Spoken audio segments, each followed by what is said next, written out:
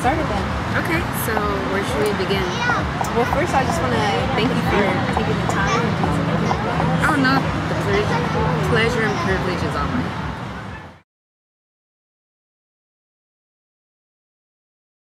So uh, let's just start from the beginning. Um, can you tell me about how PMM got started and um,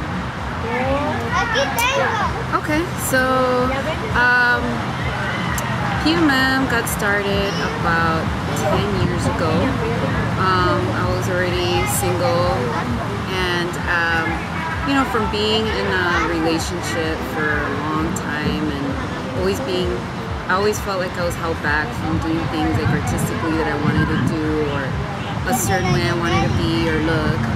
Um, I just know that once I was already single and trying to figure out how was I going to do to set myself apart and stand out and you know I was always intrigued with the pinup scene and the lowrider scene, the rockabilly scene. I just didn't have an outlet to enter it. So um, I always had a passion for trying to do something creative, so I decided I wanted to start a clothing brand.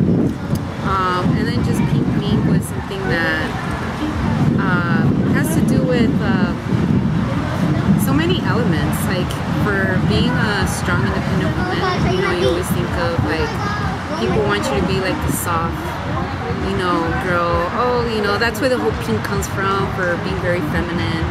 And the mink mafia, the pink mink mafia is more like the edginess to it. So as I started to promote my clothing brand, I did a lot of uh, shoots that were a little bit on the edgy side. So there's a picture, actually this one, this is actually me.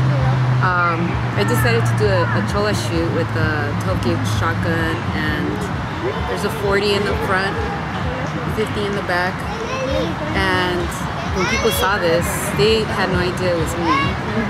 And back then, I didn't really have a lot of tattoos. Actually, I, I had very few. Um, but this was the one that created the buzz when I started. Um, I created my uh, MySpace account, and people had no idea what Pink Mink Mafia was. So I was always being asked, "Are you guys like a car show, car club, a girl club? Like I don't get it." And that's exactly what I wanted people to do. And being the only person and only model for my company, I just started doing a lot of photo shoots. I would wake up one day, like when I did this shoot, I just woke up one day and I said, I'm gonna do a chola shoot. Went to swap meet, got me my Cortez, got me my chola pants, everything, and all I needed was a car and the location, and I figured that out within the hour. So as I was going to the location, I found, uh, I saw a guy with an old school like bomb driving this way and I was going this way and I was like, that's the car I need to use right now. And he was driving in a Azusa with this old lady and you could tell he's a veterano. So I managed to somehow get him to pull over and he told him my idea, how, you know, I just wanted to like do a quick photo shoot and he was just so all about it. And he said, okay, I'll be there in an hour. And I was like, yes. And so he made it out there and he had the coolest car ever. It had rated plates, it was silver. And back then I didn't even know how to put on a bandana right. It was just like laughing like this girl, just trying to be a chola. He's like, this is the way you fold it. So it was it was really like a bunch of laughs and uh, the main thing I always wanted to do is just be artistic.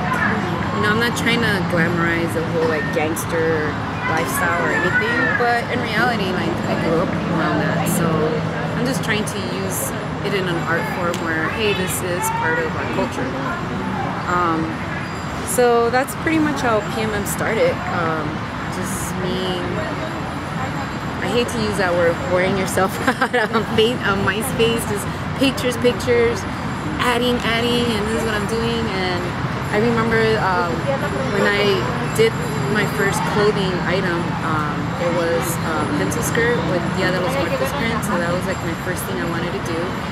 But I didn't have a top to go with it, and one day I went to an Ender swap meet, and I wanted to just do something just for myself, like PMM for short, and it was so simple. It was on a tank top. It was like a heat press decal lettering, so when I put it on, like the letters got all crazy, like they stretched. and I just took a crazy picture like in my car, and I think I think I had this tattoo. Um, or I had a I don't know. I was just I just posed with it, and people right away started commenting like, "Dude, that's a cool shirt. Where'd you get it at? Like, where can I buy it?" I was like, "Oh my god, I just got this in the shop." And so I was like, "Okay, so maybe I gotta put a hold on these dresses that I'm making, and I'm gonna start making tank tops." And that has been my number one seller since. Like it just doesn't go out of style, and I see people tagging it, the minute they buy one, right away they got to do a selfie, which is awesome. Um, but uh, when I finally was able to do my line of skirts, I got together with uh, lots of artists actually that day. It was a really huge photo shoot. It got so big that people thought it was an event. Um, I had Greenspans. Um, we held it in a location in Glendora, so it was a, a really nice private estate house. So Greenspans was there. Um, Danny De showed up. I had some guys like from Suit, like the clothing brand. I had about 12 like old school bombs show up.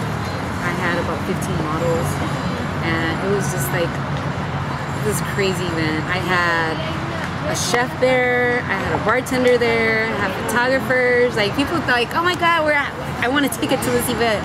It was pretty badass. I had a lot of like well-known people there show up and ever since then I've just been blessed to be always constantly working with like a lot of amazing people and you know, the girls I've used, there's just endless. There's just like endless pictures if you Google it. That's tight. I know I said a whole mouthful right there, right? No. it's good to know. It's good to hear those stories. Yeah, don't get me started with PMM. Like, just talk your ear off. That's what we're here for. Um, so how many members do you have these days? Um, it's really hard to keep track because I do have uh, a revolving uh, door with girls because you know life happens. You know, girls come in it because they have the time. They want to model. We got a lot of first timers. I got girls that want to just uh, collaborate and be involved with the charity events that I do. Get involved with put together. Um, I got girls from different chapters all over the, the country. So I could say I have a lot of friends, and I have a lot of like models everywhere. I can't really give you a specific number, but I'm sure if you Google it, you'll, you'll see all these like different chapters pop up. Like uh, I have PMM Japan, I have PMM Brazil, I have PMM France, and I have some girls in New Mexico. I just started a chapter in Florida. Um, and I just to keep going until I cover all 50 states. So you travel a lot. I don't travel a lot because unfortunately I do work a lot. Um, this is like home base where I do everything. So not only do I handle the clothing brand, but on my personal side, I, I am a uh, professional, so I do have an established career, which is uh, corporate field, which means I look nothing the way I look right now. I cover up from pretty much everything because I work in human resources, so I have to look professional in order to be taken seriously. Uh, which I disagree with that because I feel like as long as you have the education and the talent, it shouldn't matter what you look like, and that's part of why a lot of people embrace my clothing brand is because I put it out there, you know, try to like get away with like do away with stereotypes. It's more about being an individual, but still be able to do what you're getting paid to do. Like it shouldn't matter what. So hopefully one day that will change. I know there's a lot of friends that I have that are in law enforcement or have corporate jobs that hate it because they just want to have like their knuckles tattooed, their necks tattooed, and you know it's just a lifestyle you want to you choose to live by, but you know certain restraints like jobs prevent you. I mean I've gotten to a point where I really don't care, and that's why I've gone as far as like tattooing my neck. I just deal with it. I mean, I'll tell you, it sucks in the summer. it's so hot, but it's a small price to pay. Oh,